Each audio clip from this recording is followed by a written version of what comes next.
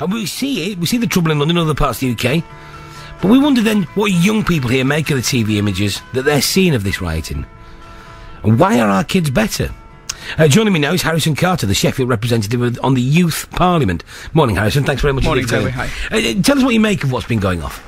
Well, first of all, obviously, it's important to recognise um, that the actions of the writers uh, were wrong and continue, obviously, to be wrong. Um, and in London nationwide, you know, it's really quite sad to see people destroying their own local communities uh, putting people out of business and wrecking people's lives.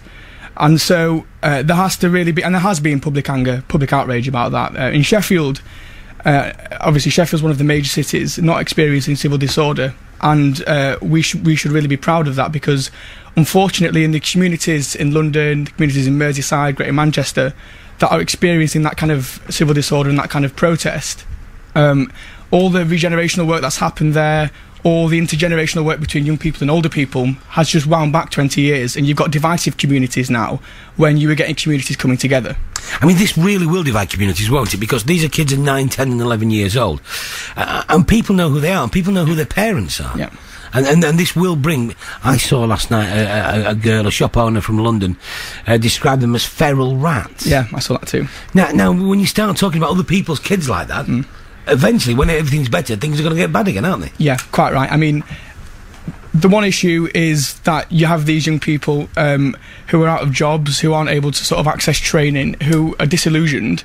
That's not really an excuse for for, for what they're doing, but that may be one of the reasons why. Mm-hmm. Um, and that's one issue that needs to be resolved. You also then have their parents who are hearing uh, other people um, criticise their their, their their their young children, their young people, and so in a sense that would divide the community in another way. So it's, I mean, sort of this kind of divisiveness is, is, is happening all over, and it is really a case of the government needing to sort of get on top of it. I mean, the problem is, and one of the worrying things is that these people aren't fighting for a cause there's no reason why they're doing it. And it's, and, and, in my opinion, and I've said this before, it's opportunistic. Mm-hmm. They're taking the opportunity to, to, to become criminals for a day, and uh, under sort of the cloud of other people, um, they become faceless people can't find them. Um, and also using the internet, they become faceless as well. I mean, obviously, some people have been caught, but it's much more difficult on the internet. So, um, in a sense, because they're not fighting for a cause, how do you stop it? What what's the problem that needs to be resolved?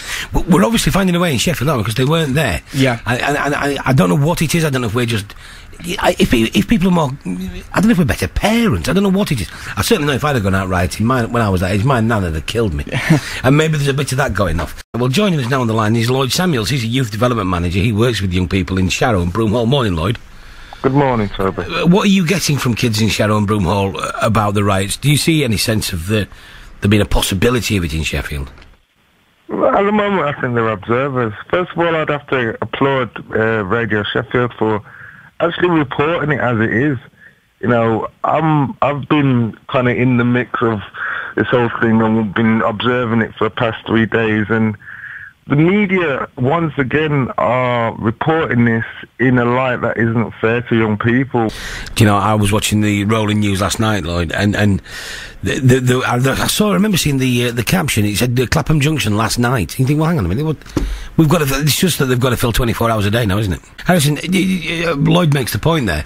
These are just opportunists, and and he, he illustrates it there. If you've got 16, you've got nothing to do, and you're going for a plasma but I'm guessing if somebody had said that to you, how old are you now, 18, 19? 18. If somebody said that to you two years ago, let's go to Curry's and get a plasma, I'm guessing you'd have said no. I think I would have said no. Um, there are really sort of key issues here, and I think Lloyd's absolutely right. It's about people being opportunists and people taking that sort of opportunity, that chance to go off to, to Curry's and take that plasma, and and and really that's a really sort of upsetting thing to, to, to, to think about because these young people, he's right, uh, perhaps haven't got a future. They're in an area where jobs are scarce, where there's no opportunity for them, where there's no access to training, where there's no services like in Sheffield. we are very uh, sort of proud to have Sheffield Futures, which is an excellent service for young people providing careers advice. They might not have that. Now, if they don't, there's no guidance there and there's no direction. And also, um, I mean, uh, I was saying to this to a few young people I was speaking to yesterday, you know, um, myself and them, we wouldn't think about going up to our local shops and, and, and, and, wrecking the place and putting people out of business because there's a sense of ownership over our own communities. And what they haven't got is a sense of ownership over their communities and over their actions. And so um, there are some key issues that have to be sorted out. Um, I mean, people are going to talk about the police and about the response of the police and about their kind of tactics, but really we need to move away from that. We need to look at the, the key reasons for why people have started this kind of violence. And we also need to recognise that the media perhaps has to be more responsible in the reporting of it um, to ensure that we're not encouraging other people to do it in other cities. Harrison, thanks very much indeed for coming in this morning. That's Harrison Carter.